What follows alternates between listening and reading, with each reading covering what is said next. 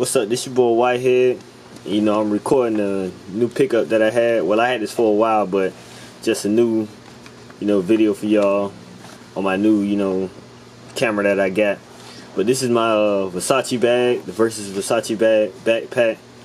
You know, I got it. I like the colors and the texture that it's made of. It's kind of like a like a cotton cloth, but like a kind of canvas feel. And you know, you see the designs and you know flowers and the gold, the green, and it has a uh, power, money, power, and all kind of things on it. But this bag is from uh, Versus Versace. You know, as you can see the inside of the bag.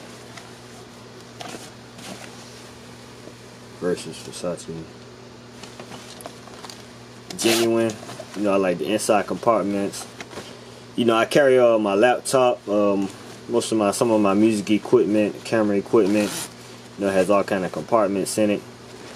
You know, and you know, it's just a good you know pickup. I forgot how much I got it for. It wasn't that uh that expensive.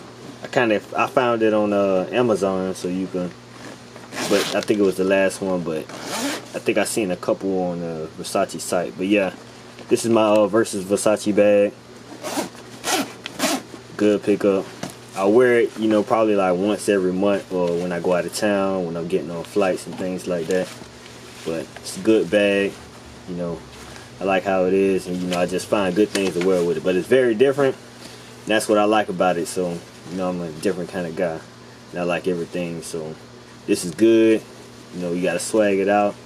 Not everybody could do it, but this is what I like. And, you know, this is me giving another review on this Versace versus Versace bag. Thanks for tuning in. Like, subscribe, comment, and I have more videos coming soon. Thanks.